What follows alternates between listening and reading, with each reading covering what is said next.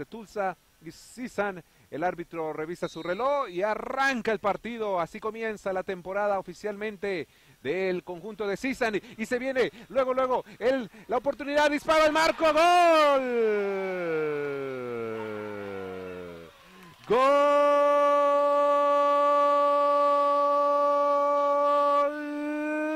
De Sisan